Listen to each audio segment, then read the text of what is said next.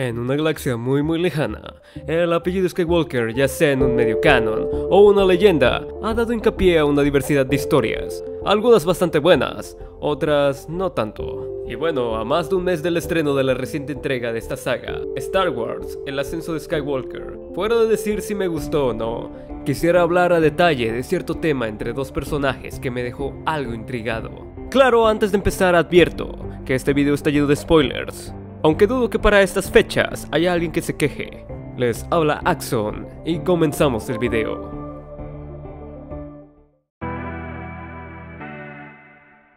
Podemos resumir el episodio 9 de Star Wars con puntos importantes, como son, Rey es descendiente de Palpatine, Rey resulta ser portadora de todos los Jedi, Palpatine muere otra vez, Kylo Ren y Rey desahogan una mala tensión sexual que tenían por tres películas con un simple beso, Kylo desaparece, y Rey se queda con el apellido Skywalker. He oído opiniones divididas con esto último, donde la gente dice que los Skywalker dejaron de existir realmente, que así no funciona un apellido, que Palpatine en verdad ganó ya que su única descendiente está viva. Pero algo que no ven aquí es lo siguiente, es que no sería la primera vez en que Palpatine ha tocado el nombre Skywalker. ¿Qué pasaría si les dijera que el emperador no solo cambió el final de la dinastía de esta familia, sino que la alteró incluso antes de que empezara? Para entender lo que les digo, tenemos que irnos al pasado, en la era de la República, los tiempos en los que se creía que existía un elegido. Sin embargo, sabemos que este mismo sería persuadido por Palpatine al lado oscuro, para luego ser conocido como el temible Darth Vader. Pero antes de todo eso, solo lo conocíamos como Anakin Skywalker. La historia nos cuenta que Anakin es el primer Skywalker en tener un gran poder. Asimismo, en palabras de su madre, y se supuso que Anakin fue producto de la fuerza misma, haciendo el origen de los Skywalker un poco bíblico. Por ahora, esto no tiene ningún problema con las secuelas. Pero ojo aquí, ha habido momentos en que se pone en duda la concepción de Anakin. Un ejemplo está en el canon anterior. ¿Recuerdan la tragedia de Darth Plagueis el Sabio? Aquella historia que Palpatine le cuenta a Anakin en el episodio 3 sobre aquel Lord Sith tan poderoso que podía influir en los midichlorianos y en la fuerza para crear vida.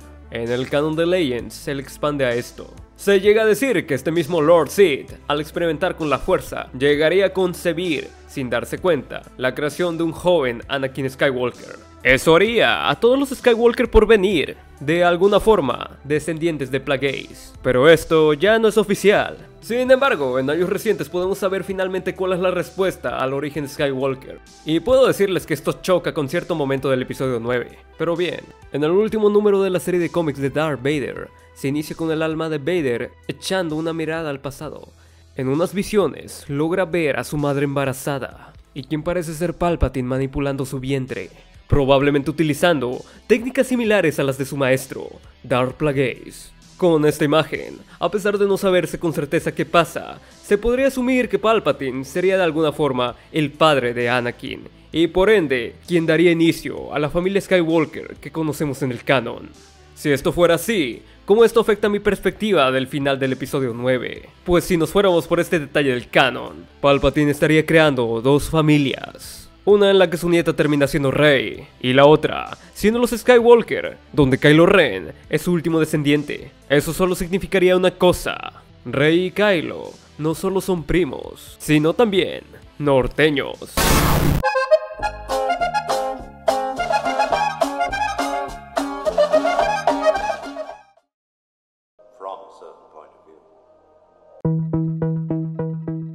En fin, esto es lo único que pensé al ver esta escena en cines. Realmente nunca pude ver el Reylo como algo normal, y ahora menos. Pero hey, no es como si esto no haya pasado antes en la franquicia. Además, puede que tarde o temprano alguien del equipo creativo aclare las cosas. Solo el tiempo lo dirá.